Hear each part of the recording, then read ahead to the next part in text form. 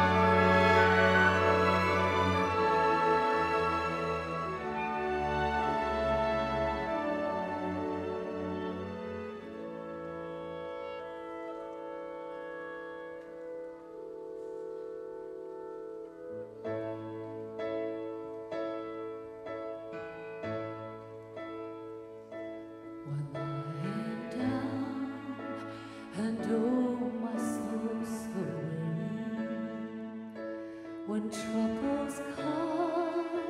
and my heart burden be, then I am still waiting in the silence until you come and say the